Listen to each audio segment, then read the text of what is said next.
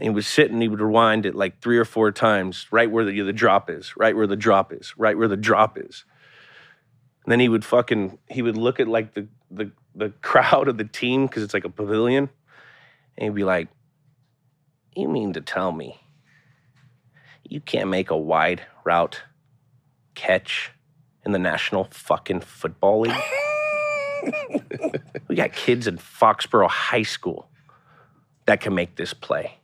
And then he would rewind it like four more times. then he, he would chime in again. He goes, like me and fucking Ernie can make this play. And then he would rewind it. And then he'd go back and, you assholes.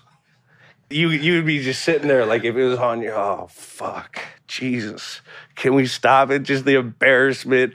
I've seen 3,000 fucking guys make this catch in this league. 3,000. Like, it's just, that's how he is. The way he makes fun of guys is like, it's extremely funny and demoralizing because he can bring in like facts and players from, up.